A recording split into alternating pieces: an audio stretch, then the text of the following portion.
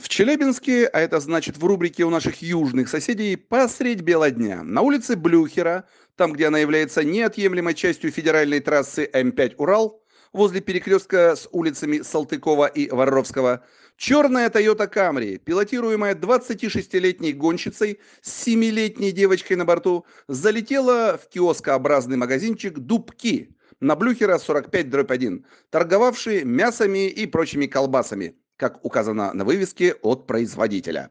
Можно было бы предположить, что Камри водка вся такая из себя верующая, молящаяся, постящаяся, и типа она сочла невозможным дальнейшее существование Великий пост ларька, отравляющего крещенную Русь-матушку мясом мертвых животных. Реальность оказалась очень сильно далека от духовности, хотя и рушить чужое имущество с мясом в пост – это так себе духовность.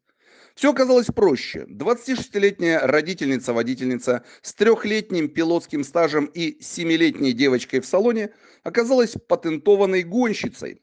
По данным Челябинской госавтоинспекции, за крайний год ее 10 раз штрафовали за скорость.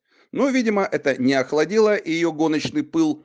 И по Блюхера, читая по М5 Урал, она двигалась на Камри довольно бодро. Завидев хвост, стоящий на светофоре на поворот, она пошла на обгон справа.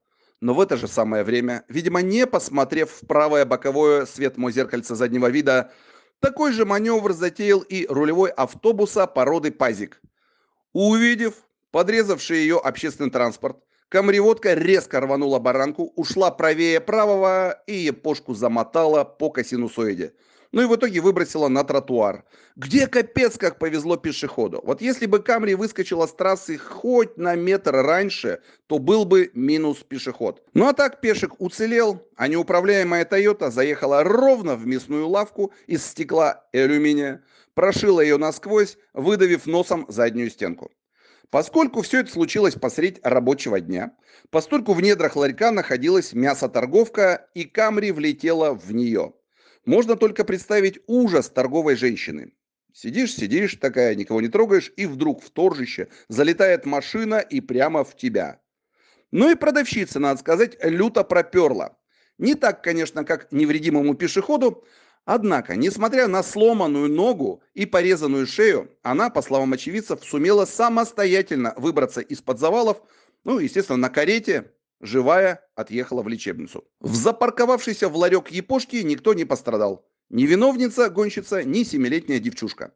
Зато какое приключение для ребенка. Вот не каждый день, да и не каждый год вот так вот съездишь за колбаской. Что касается камриводки, разрушившей торговую точку, то ей гаишники нарисовали две административки. 12.33 КОАП – это повреждение дорог, железнодорожных переездов или, внимание, других дорожных сооружений. Это штраф до 10 тысяч рублей.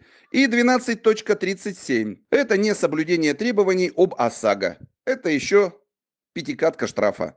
Ну а в целом, в этот раз Homo sapiens повезло. Могло было быть гораздо страшнее, но нет. Пока что happy endorphin.